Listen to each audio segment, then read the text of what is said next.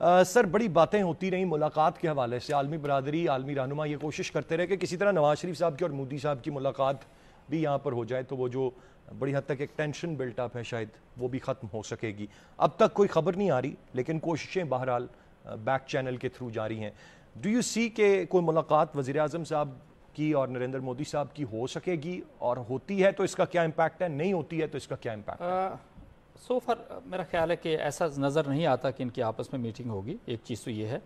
दूसरी चीज़ अगर आप देखें इन दोनों प्राइम मिनिस्टर्स की इनकी कमिटमेंट्स को देखें जो वहाँ पर इनकी मसरूफियात जैसे चल रही हैं मोदी साहब जी फोर के सारे लोग मिले 50 सीईओज टॉप एग्जेक्टिव के साथ इनकी मीटिंग हो रही है। इसके हाँ। बाद 500 executive they are meeting with him plus number of leaders of the world they are meeting with him. No he has visited silicon valley also जो कि जहाँ पे हर तरह की फैक्ट्रीज सारी चीज़ें मौजूद हैं। हम्म। आप ये देखें कि वो जो इंडियन फॉरेन ऑफ़िस है वो किस तरीके से काम कर रहा है? वहाँ की जो मशीनरी है वो किस तरीके से काम कर रही गवर्नमेंट मशीनरी की मैं बात कर रहा हूँ। सो मच सो उनकी जो फॉरेन मिनिस्टर हैं वो एक हफ़्ता पहले से she was present in USA and she was meeting left and right and coordinating the visit of their prime minister C R R office जैसे कसूरी साहब ने बिल्कुल ठीक कहा है कि फॉरेन ऑफ़िस तो हमारा उस, उस तरीके से है ही नहीं। हम ऐसा लगता है कि हम एक शेल के अंदर बंद कौम है और every year we we are facing these problems हमारा ओवरऑल पूरी दुनिया के अंदर अगर आप देखें तो परसेप्शन क्या चल रहा है? जी। परसेप्शन चल रहा है हमारा हमारी लीडरशिप का करप्शन का चल रहा है टेररिज्म का चल रहा है एक्सट्रीमिज्म का चल रहा है फिरका परस्ती का चल रहा है। देखिए हमने हर लेवल के ऊपर काम करना है।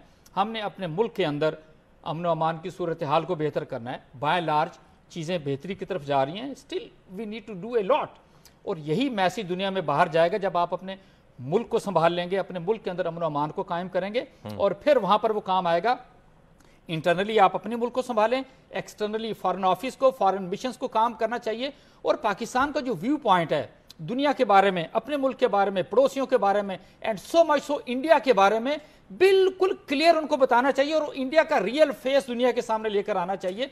ये जो है ना कि हम कारोबार भी करें, हम ट्रक भी भेजें ट्रक लेकर भी आए, हम पैसों के चक्कर में पड़े हों, हम मित्तल बरादर के साथ भी मिले। एंड यू से यार कि नहीं वो आपकी बात सुन लेंगे? For God sake you have to be out of all these things now and please be the leader of this country. That is the problem. But sir, wouldn't you give some credit to the PM साहब वो Bill Gates से भी मिले उन्होंने technology information technology की पाकिस्तान में तरक्की के हवाले से should be very thankful to Bill Gates कि उसने पैसे दिए और कहा जी क्या हमारे यहाँ आप खुदा के लिए उसको पोलियो को खत्म करें। वो तो हम बिल गेट्स को जवाब देने गए थे जो पैसे आपने हमें दिए थे जी। हमने ये ये काम किया। फॉर गॉड अच्छा अमरीकी सरमायाकारों से भी तो सर उनकी मुलाकात हुई। है मैं चाह रहा हूँ कि हुकूमती नुमाइंदा नहीं है और हम हुकूमत पर तनकीद पे तनकीद किए जा रहे हैं। We should give some credit last year भी बड़ी तनकीद हुई थी मुझे बड़ा वाजे तौर पर याद है लेकिन जब नवाज़ शरीफ साहब ने तकरीर की तो फिर हर कोई उनकी तारीफ़ करने पर भी मजबूर हो गया। मैं एक बात तो अब वो अमरीकी सरमाकारों से मिले हैं उन्होंने दावत दी है अमरीकी सरमाकारों को कि पाकिस्तान में इन्वेस्टमेंट ओके मैं अब यहाँ पे लेता हूँ।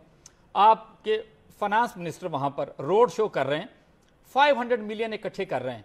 किसने देने? आपने देने हमने देने और हमारे बच्चों ने पे करने कर्जा ले रहे हैं भाई आप? हम्म। मुफ़्त में तो कोई नहीं पैसे दे रहा।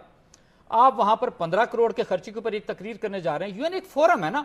खुदा के लिए इन सारी चीज़ों को कंट्रोल करें अपने अखराज को कंट्रोल करें और आप वहाँ का रूजवेल्ट होटल है आप होटल है आपका अपना होटल है। भाई वहाँ क्यों नहीं आप जाके रह सकते? हम्म। ठीक है? Why to stay in very expensive hotel नहीं लेकिन वो जो उनके साथ सपोर्टिंग स्टाफ है सर अगर जो सपोर्टिंग स्टाफ है yes Roosevelt hotel is one of it is right in middle of the town ठीक है? जी, जी, और वहाँ पर वो रह सकते हैं उनको अकोमोडेट कर सकते प्रॉब्लम ये है कि हम हम कुछ सोचते अवाम कुछ सोचती है और सो कॉल्ड जो लीडर्स हैं आपके मुल्क के वो किसी और उनकी सोच ही मुख्तलिफ़ है जी। आपके आवाम को इंसाफ चाहिए आपके आवाम को रोज़गार चाहिए आपके आवाम को तालीम चाहिए सेहत चाहिए और ये आपको क्या डिलीवर कर रहे हैं आपको आउट से मोटरवेज डिलीवर करें अच्छा, मैं, मैं